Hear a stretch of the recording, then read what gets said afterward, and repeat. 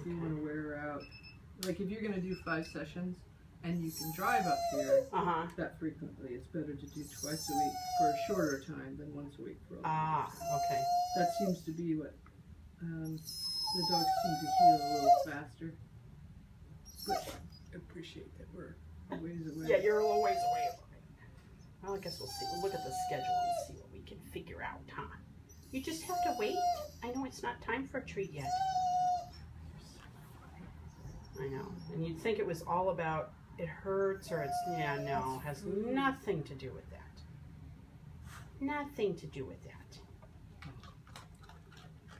It's just, you know, torture for me not to eat every 29 seconds. Is that right? I don't know why you worry about that. It takes you only 30 seconds to finish your meal. Yeah. What's the corgi's name again? Blue. Blue.